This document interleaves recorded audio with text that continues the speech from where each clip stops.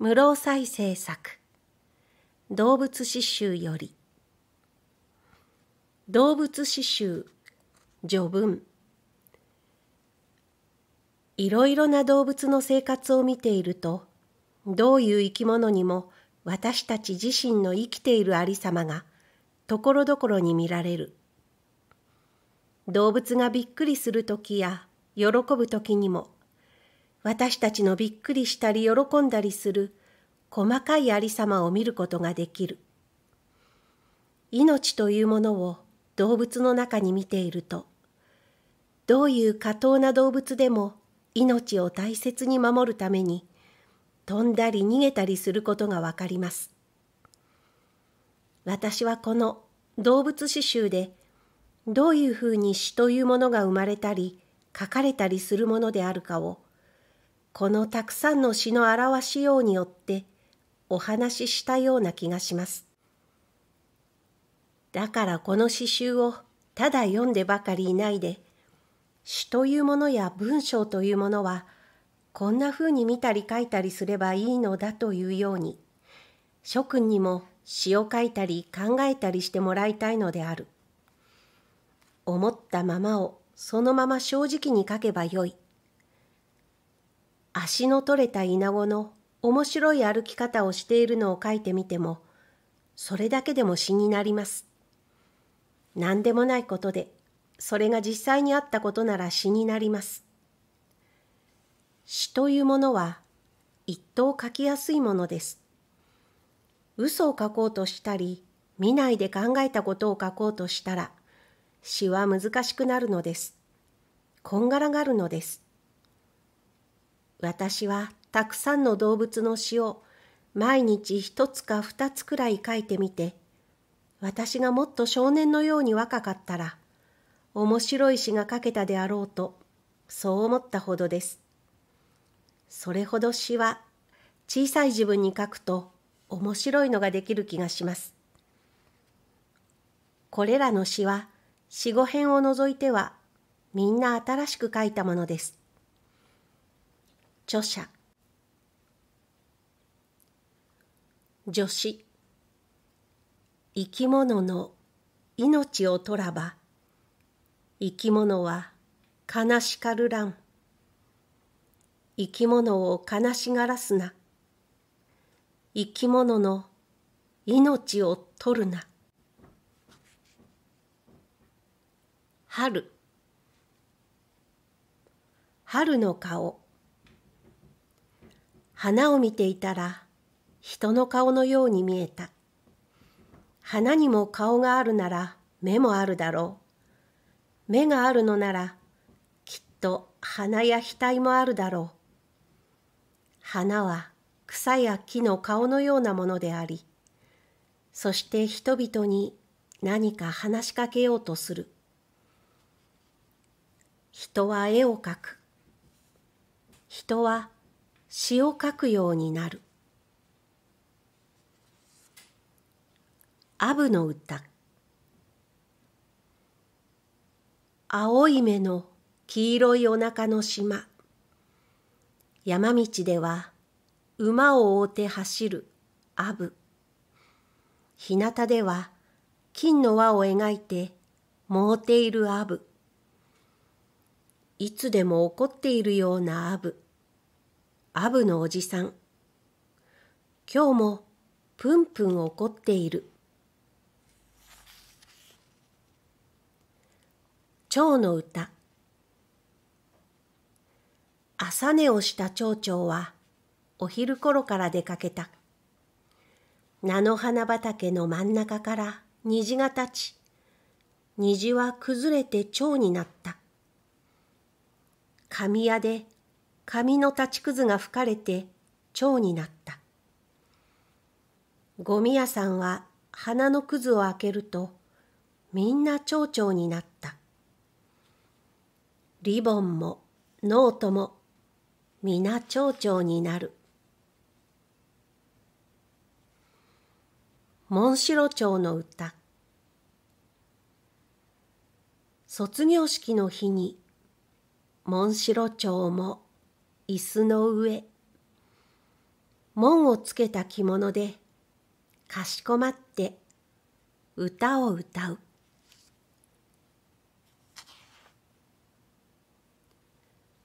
ウグイスの歌春はいいね。けれど春はお腹が減るね。金平糖のような虫がいないかね。春はいいね。枝から滑っても痛くないね。朝から泣いていると声がだんだん良くなる。一声泣くと隣近所の庭が明るくなる。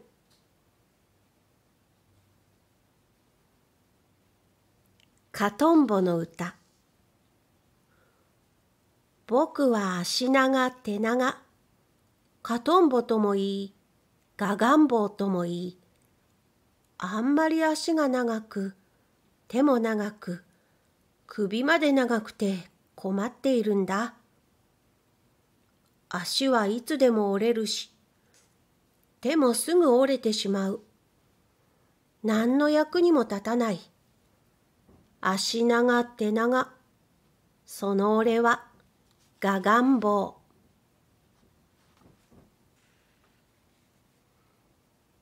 水あゆの歌。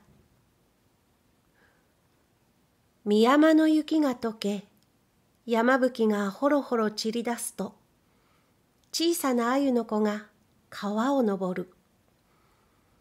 あゆの子は水と同じ色だ。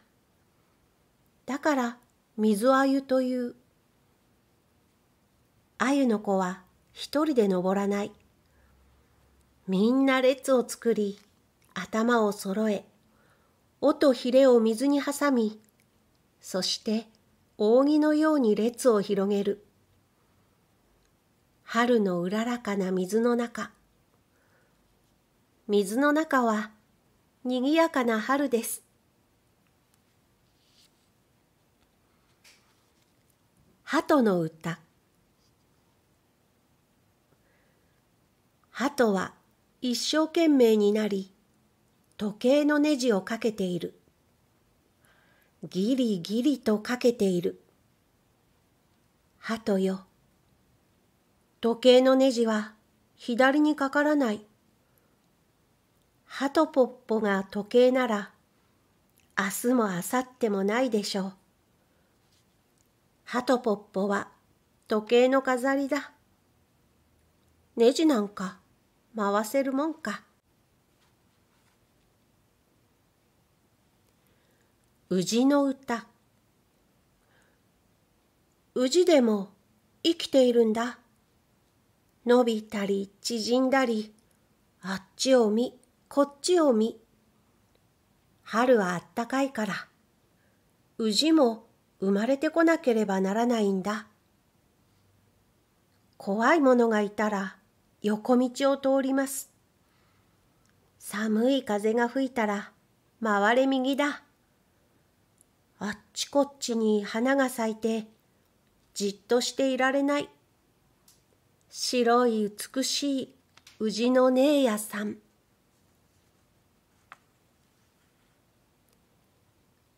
すずめの歌君くらいおしゃべり坊主はいない。耳を塞いでいても君の声だけはいつでも聞ける。一体全体何を一日おしゃべりしているんだ？お隣の煙突から煙が昇るのはお風呂が立つのじゃないか。土曜のあくる日は日曜で、次の日曜は遠足じゃないか。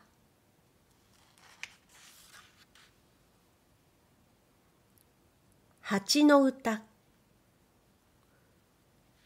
蜂は毎日怒っている。怒りすぎるので友達がない。誰でも針でちくりと刺す。蜂は怒りんぼう。蜂の喉は乾く。蜂は空を飛ぶ。空にある道を知っている。一度通った道は忘れぬ。蜂は怒りんぼう。君近でおじいさんのような顔してる。はまぐりの歌はまぐりの背中をトントン叩く者がいる。誰だと尋ねると、あさりだという。はまぐりとあさりは兄弟のようなものだろう。はまぐりに抱かれて、あさりは寝ています。はまぐりの背中に海が起こって、太平洋は今戦争中だ。そして戦は大勝利だ。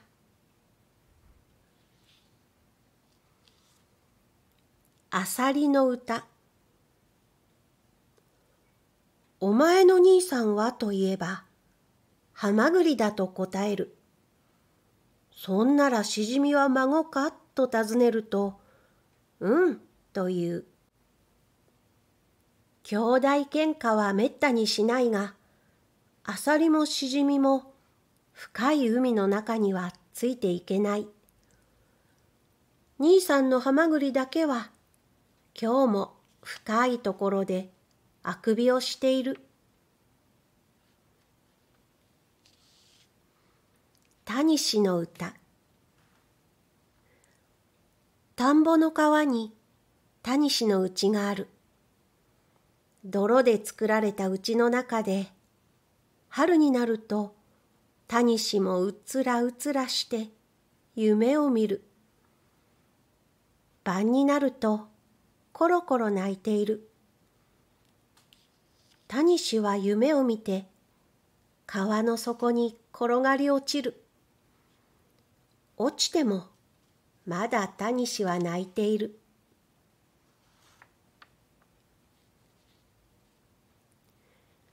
タイの歌タイは難しい顔をしている。にがりきっている。少し厳しいような顔です。体ががっしりしていて、尾もひれもピンとしているから偉そうに見える。お祝いの日に早速出てきて、威張り返ってお皿の上で寝ている。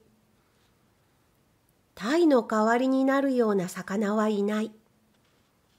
だから昔から鯛は反り返って威張っている。今に頭と音がひっついてしまうでしょう。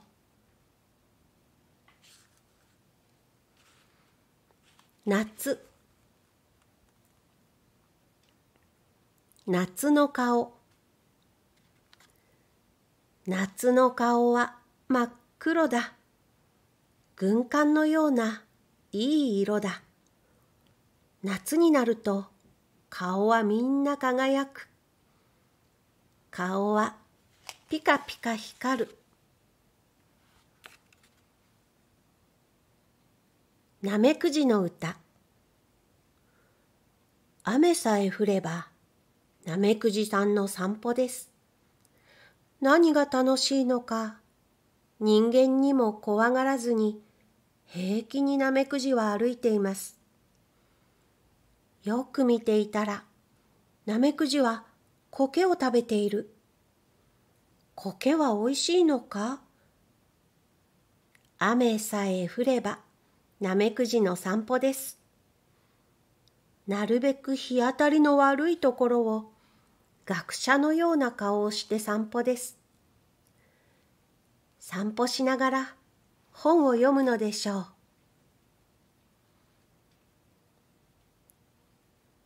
カブトムシの歌鉄のような頭をしてのこぎりのような角を持ちその角を振り回しながら暑い日にあぶられ、カブトムシは誰と喧嘩をするつもりか、今日も高い木の上に悠々として登っていく。誰も怖くないらしい。誰が来ても負けないらしい。鉄兜をかむり、機関銃を持ち、黒い落下山でどこへでも降りてゆく。勇ましい夏の兵隊さん。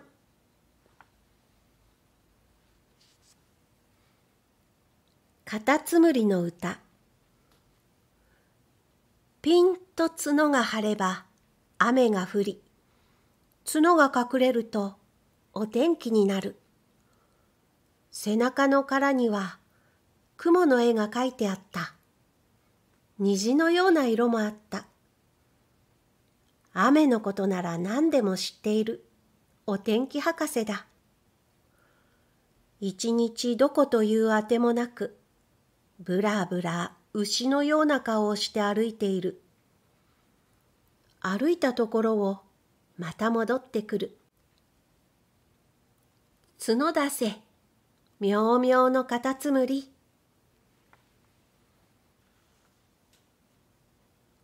川掘りの歌。羽のあるネズミ。鳥とネズミの合いの子。日が暮れなければ出てこない黒ずくめの川掘り寂しい夕方の街道を逃げるように走っている巣はどこにあるのか？妻がいるのか？子供がいるのか？一向わからない川掘り鳥にしてはちっとも鳴かないしネズミにしては羽がある。変なやつだ。変な川掘りだ。蛇の歌。あんまり長いので、自分の尾もろくろく見たことがない。春の暖かい日に穴から出ると、長いあくびをする。冬は長かったなあ。そして久しぶりで野山の去年と同じ景色を見て、やれやれ、みんな変わらずにいたなあ、という。けれども木や草は黙っている。蛇はそこでゆっくりおしっこをして、さて首を上げ、どこへ行って何をごちそうになろうと長い汽車のように歩いてゆく。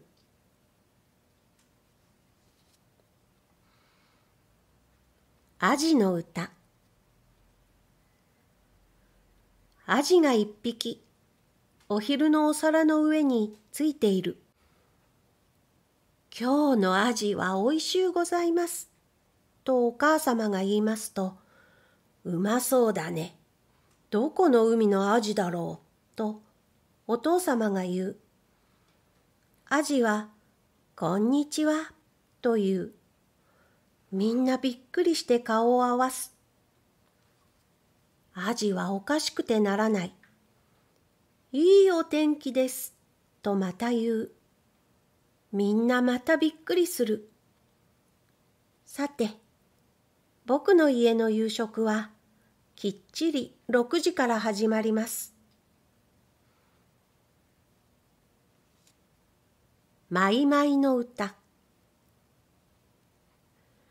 水の上川の背の裏で一日輪を描いて舞っているマイマイという虫黒い豆ほどのようなやつ何が面白いのかちょっともお休みなしにマイマイをして遊んでいる。きっと待っているのが面白いのであろう。朝から夕方まで目の舞うほど輪を描いて遊んでいる。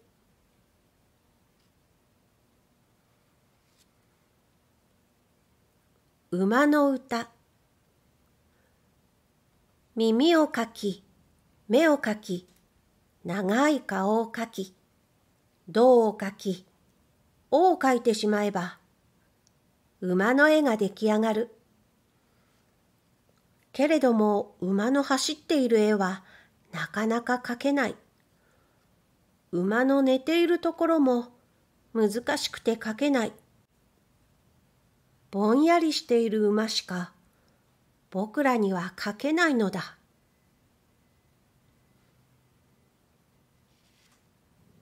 ミミズの歌ミミズは目くらだそうです。目が見えないまま土の中で暮らしているのだそうです。ミミズにも子供がいて孫がいる。子供も孫もみんな目くらだそうです。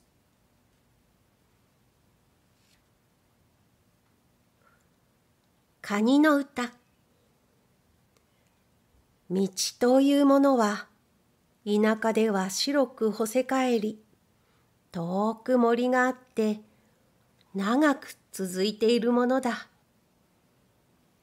いろいろな草が両側に生え草の中で暑い日でも虫が鳴いている森の中ではいっぱいのセミの声がしている。そういう道を歩くと、清い水が湧いているものだ。水のあるところにカニがいるし、カニの子も遊んでいる。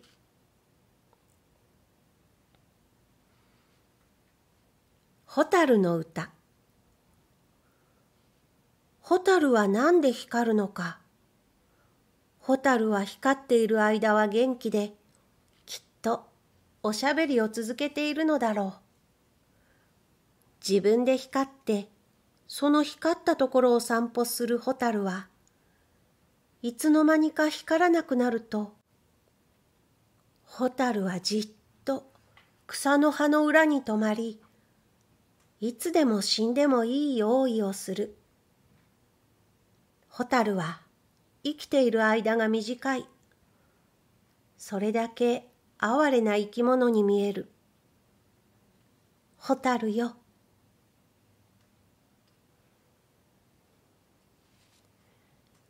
毛虫の歌毛虫の背中にいろいろな色がある。朱、赤、黄色い玉、紫、ネズミ色に青と紺。それが美しい模様を作り火おどし鎧のようにきちんと染められています。誰も作ったわけではないが自然に染められているのです。いやらしいと思うよりじっと見てごらんなさい。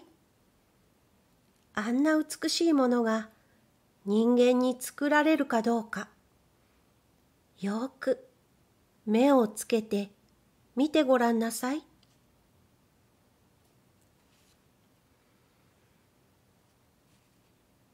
ボウフラの歌ボウフラという本字はボウフラと書くのです。まるでボウフラが2匹寄ったような字ではないか。字というものは実際の動物の漢字を取り入れてうまく考えて作ったものです。何の役にも立たない悲しい棒フラ。その棒フラですら人が行くと足音を怖がり水の底に沈んでじっと人の去るのを待っています。静かに一人で遊んでいたいのでしょう。ボウフラ坊主もなかなか利口なやつです。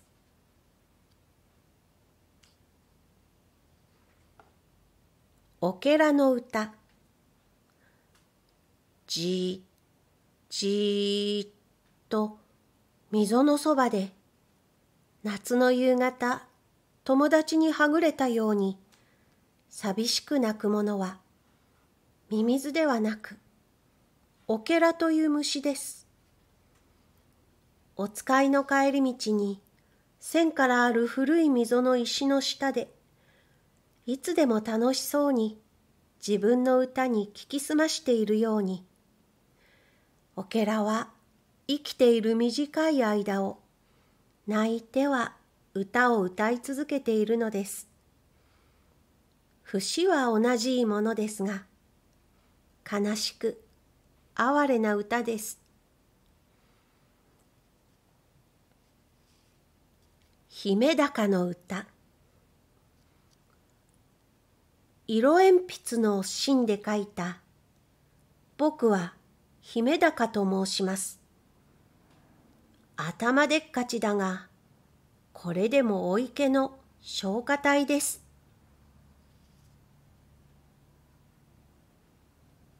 バッタの歌バッタはあっちに飛びつき、こっちに駆け出し、どこへ行っても機嫌がいいし、お愛想がいい。こんにちは。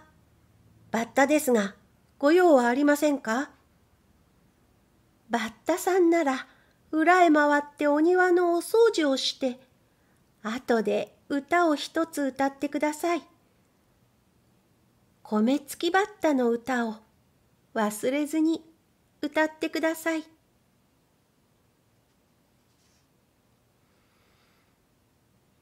みんみんの歌みんみんゼミはいつも風邪をひいているように鼻を詰まらせて泣く。胸が広くて羽は銀色に光り、背中に金の粉が吹いている。こいつが泣いているところはとても立派で、他のセミの声が聞こえないくらいだ。ミンミンゼミはセミの王様だ。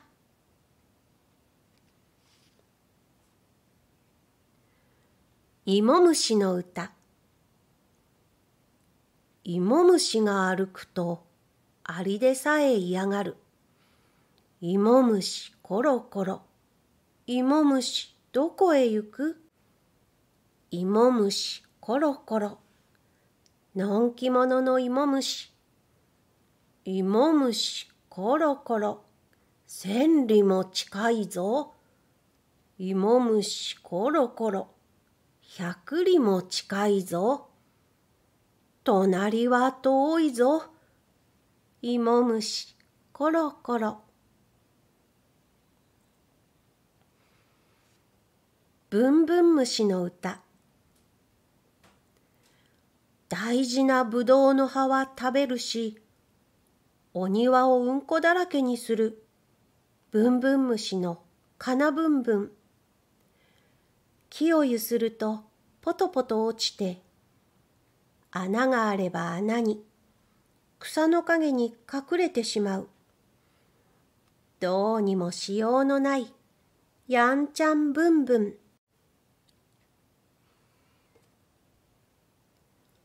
日暮らしの歌。あんないい声がどこから出るのだろう。薄いセロファンの羽から世界一の音楽が始まる。式もなければ伴奏者もないのに、朝と夕方には素晴らしい夏の歌が始まる。日暮らしが鳴くと小鳥たちもしばらく泣き止んでしまう。あんまりいい声なので小鳥たちは恥ずかしくなるのだろう。鬼ヤンマの歌。目玉を一回り動かすと地球がぐるっと一回りする。後ろに灰のいることもアリが吠うていることもちゃんとヤンマは知っている。鬼ヤンマはトンボの王様だ。お腹の黄色い島は王様のズボンの色だ。目玉はトンボの砲弾だ。羽はトンボのお車だ。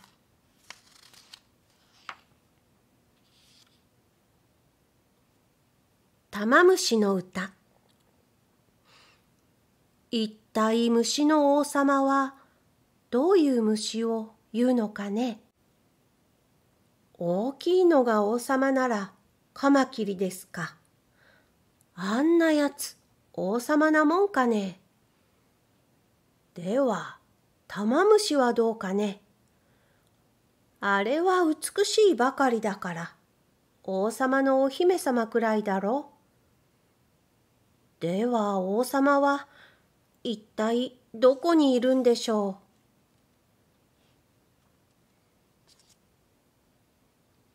金魚の歌金魚はびっくりしてうんこをした。僕が急いで縁側から飛び降りた時に金魚は水の上に浮いていたが不意に僕の影が水に映ると金魚はびっくりして水の底に沈んでいった。あんまりびっくりしたのでうんこをした。うんこは悲しげに浮いて沈んだ。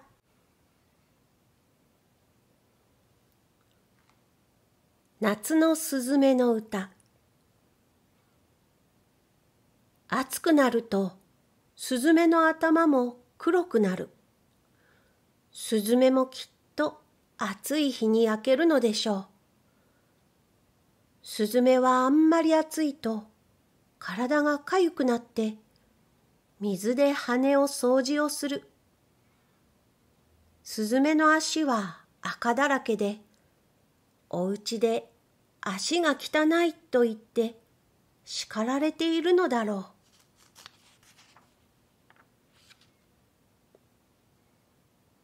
カエルの歌カエルは何が楽しいのでしょう。カエルはなぜ泣くのだろう。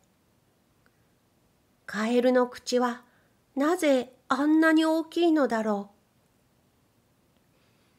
天気のいい日、カエルは枝の上でカイカイと鳴いています。枝ガエルといって声がとても美しいのです。アマガエルとも言います。カエルの鳴いている夜の田んぼ道は寂しいものです。カエルはしかし、どこか滑稽で、かわいい顔をしているものです。目をパチクリ返す。足で足をこする。喉をピクピクさせる。お腹は白く膨れている。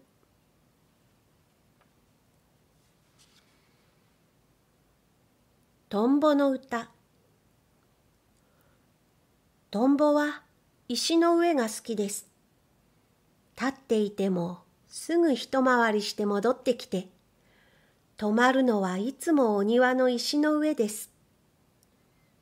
青い目玉に青い島のあるお腹をしていて、トンボはじっと石の上に止まっています。石の上に止まっていても、後ろも前もよく見えるのです。複眼であるトンボは小さい虫が後ろにいてもすぐわかるので、不意に立っていって食べてしまうのです。トンボの羽はキラキラして美しい。雨が降ると木の葉の陰にいて羽を濡らさないように大切にします。秋になるとトンボの羽が破れます。体が弱ると羽もだんだん破れて、破れるとトンボの命がなくなります。冷たい悲しい秋風が吹くと、トンボは誰も知らない間に静かに死んでしまいます。トンボがいなくなると、秋が深くなってゆくばかりです。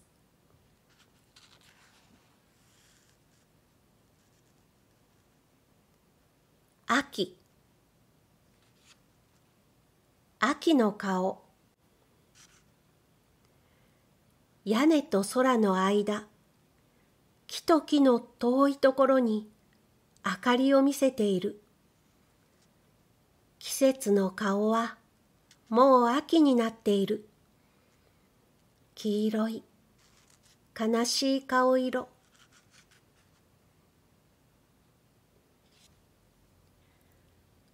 カマキリの歌。みんなさようなら。セミもバッタもトンボもみんなさようなら。ビッコを引いたカマキリが一匹。まだ生きるつもりで草の上で手を振って呼んでいる自分だけがまだ達者で暖かい日向の土地を旅をしている。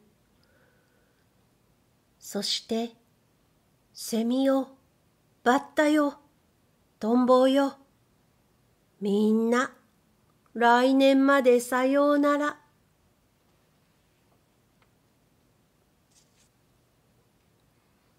コオロギの歌1石と石の間の石と土との境にコオロギは隠れて泣いています。石の下の奥の方で少し空いているところがどんなに寂しいかは誰も知らない。どんなに安心だかも誰も知らない。風もなく雨も降らず人の声もしてこない。そんなところでコオロギは冬の来るまで泣くのです。コオロギは寂しいところが好きなのです。寂しくないと泣く気にならないのです。コオロギの歌2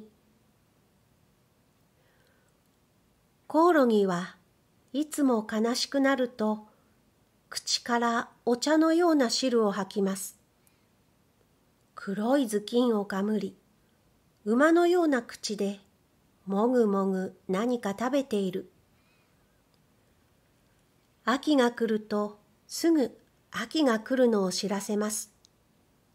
そして山に雪の見えるまで晩は泣いて泣き止むことがない。コオロギの歌はいつも同じです。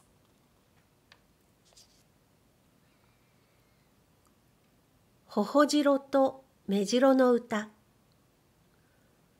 ほほじろは頬が真っ白で、目白は目の縁が白く、大きさも同じくらいで、どちらも白の姉妹。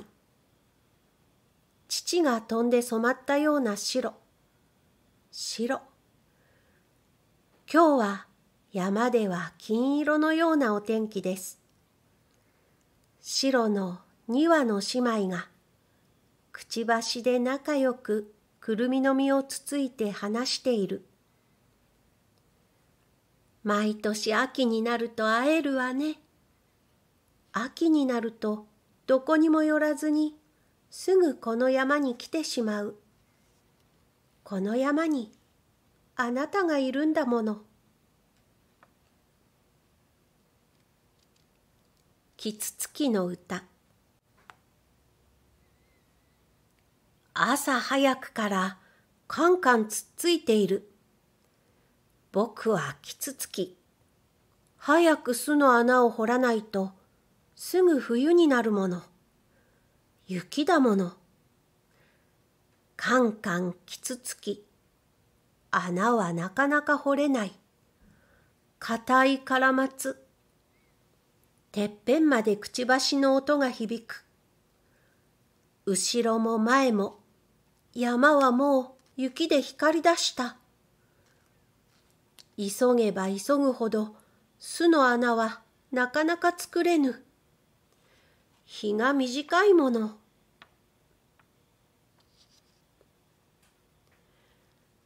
イナゴの歌イナゴが一匹自転車に乗って出かけた。大方町へお使いに行くのだろう。その留守の間にイナゴのお母さんがお琴を弾いて子供に聞かせている。一人虫の歌みんな集まりお話をしているところに不意に飛んできた一人虫羽の子が立って追えば追うほど逃げて歩く一人虫はしまいにお庭に捨ててしまった。それからまた元のように静かにお話をする。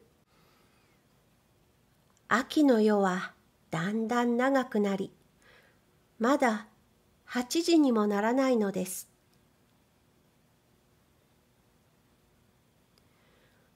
つくし小石の歌。おうしいつくし。つくし小石つくし小石と鳴くものは小さい透き通ったようなセミ。嬉しいようで悲しいような声で泣くとすぐどこかへ立っていってしまう。変な恥ずかしがり屋のつくし。その声を聞いていると秋が近いことを思わせます。松虫鈴虫の歌。どちらが姉さんでどちらが妹だかわかりません。姉妹であるかどうかもわかりませんがあれが姉妹でなかったら姉妹の虫なんて言わしない。人は言う、松虫、鈴虫。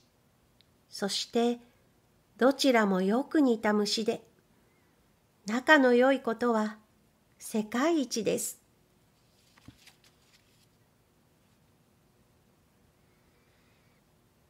モズの歌モズという鳥は、モズとも書きます。あんまりけたたましく泣き立てるからでしょう。良いお天気の日に木の上でキキキキキキとモズはカタカナでしゃべります。モズはひらがなは知りません。英語も知りません。知っているのは木の字です。朝から晩までキキキと泣きます冬冬の顔裸になった山。裸になった木々。土の色まで草の間に見えている。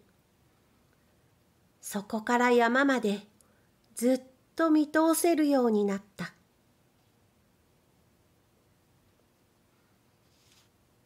アヒルの歌。アヒルアヒル。寒くはないか？水の中。水をくぐって魚を食べる。アヒル。アヒル。雪降る中で羽をバタバタ掃除する。寒くはないか？水の中。はたはたの歌。はたはたという魚。薄紅色のはたはた。はたはたが取れる日ははたはた雲という雲が現れる。はたはた焼いて食べるのは北国の子供のごちそうなり。はたはた見れば母を思うも冬の習いなり。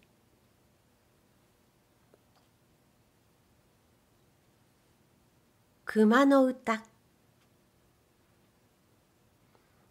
熊というものは山にいてもいつも通る道が決まっているそうだ熊が取れると熊の肉を売る車が通り熊いらんか、熊いらんか、と北国の町では売って歩きます。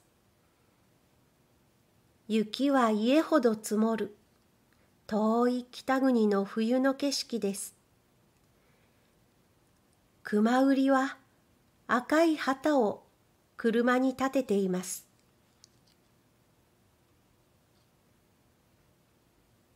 カラスの歌雪がみぞれになった。河原でカラスが鳴いている。いくら降っても水の上では積もらない。カラスがみぞれに濡れて、濡れたまま泣いている。雪は吹雪になった。寒いぞ、カラスの声。泣けば泣くほど寒い。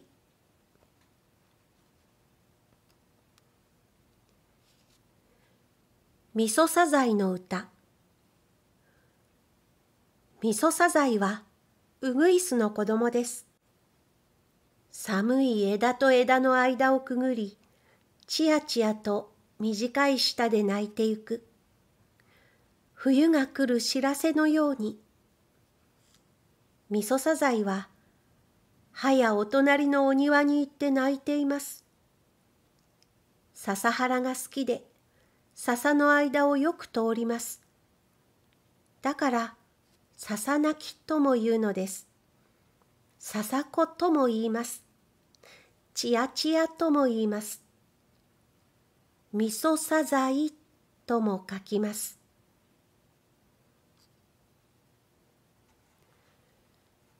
船の歌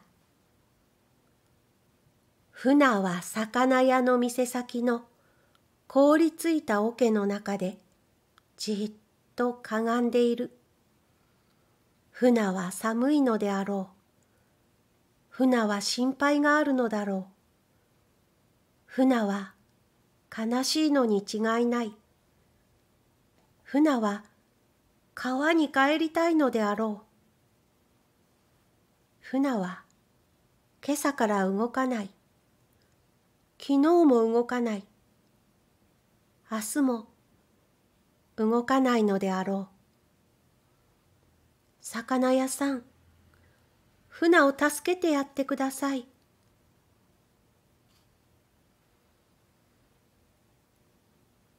うさぎの歌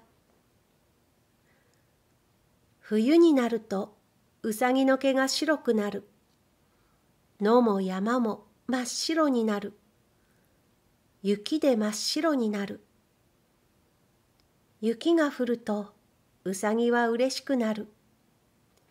じっとしていられなくなる。飛び出したくなる。うさぎは大きな耳を開いて、毎日雪を呼んでいる。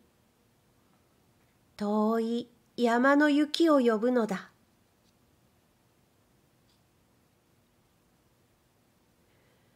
冬の灰の歌一灰も冬になると日向でふざけて遊んでいる。何が面白いのか。逃げたり、追ったり、飛んだり、頭をかいたり、羽をすり合わせたり、手を揉んでみせたりして、機嫌よく元気に遊んでいる。ここに悲しそうなものは一つもない。心配なんかも一つもない。冬の灰の歌にいろいろな虫はお正月というものを知りません。食いしん坊のアリでさえお餅というものをご存知がない。お正月は寒いから虫らは誰も知らないはずです。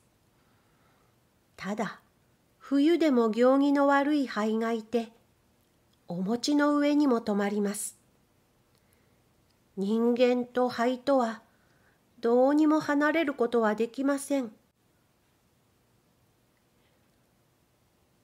カレイの歌黒いところが前、白いところがお腹。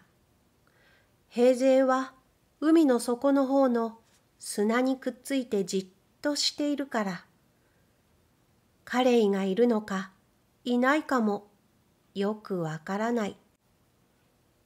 白いところが表だと言ったら、カレイに叱られますよ。カレイの目玉は飛び出しているから怖いですよ。ヒオの歌小さなヒオは氷の下で氷の中から空を見て冬を暮らします。春が来るとヒオは悲しそうに冬に別れます。ヒオは冬の寒いのが楽しいのです。ヒオは氷に頬をすり寄せ、氷をなめ、氷のかけを食べます。ヒオは美しい氷が好きなのです。氷の窓からヒオは氷の歌を歌います。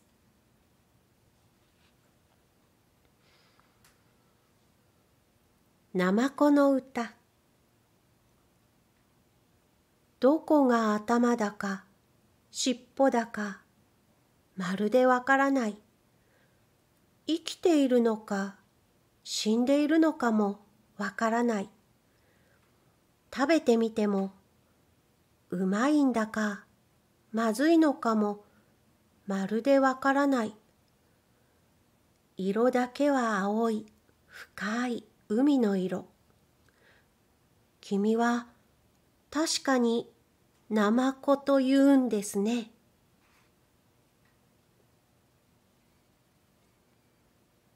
犬の歌。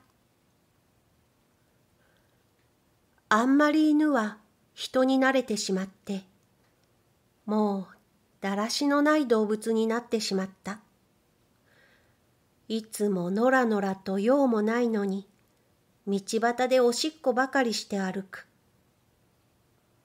おしっこがきっと東西南北を知らせてくれるのでしょう。けれども月夜の晩に白い犬を見るのは美しいものですね。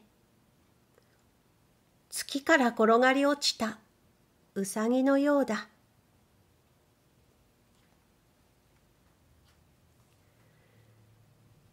猫の歌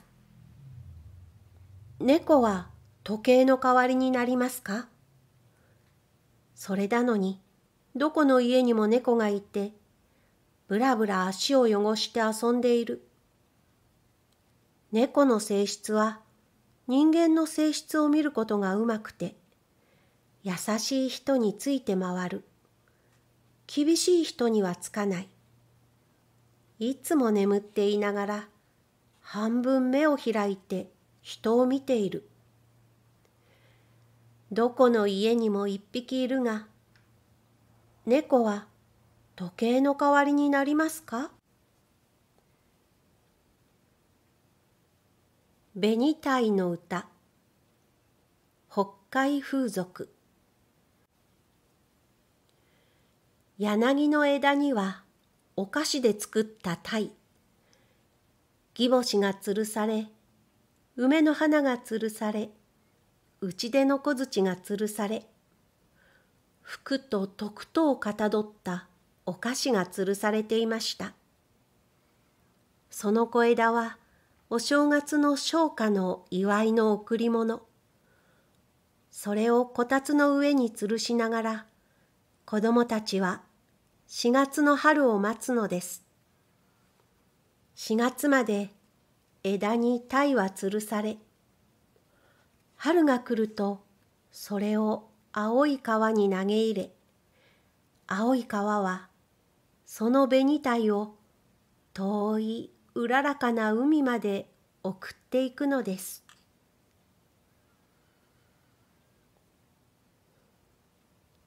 雪降り虫の歌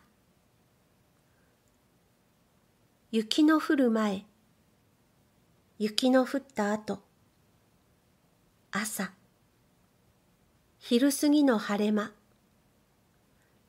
雪降り虫が上になり下に舞いこんなに寒いのにどこから集まってくるのでしょう。短い冬の日の中で遊んでいます。北国では米付き虫といい太郎や米つけ次郎には言うなという子供の歌がある。日が陰ると雪降り虫はどこかに隠れてしまい寂しい雪が降ってきます。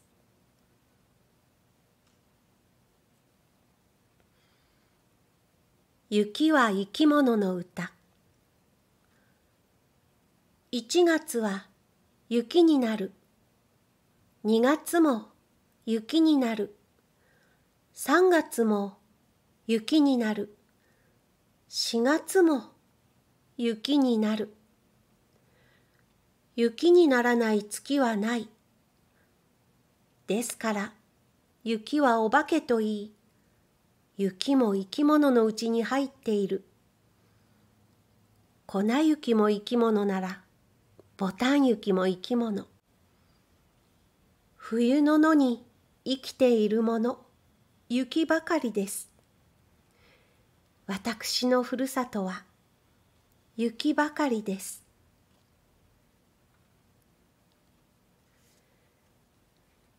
白熊の歌。氷がガジガジ張っているのに雪が降っているのに足も手も放り出して白熊はお昼寝です。今頃は遠い北国の氷の山に遊んでいる。そんな夢でも見ているのでしょう。お腹も頭も雪と氷に突き込んで動物園では白熊がお昼寝です。元気な白熊おひげに氷がぶら下がっています。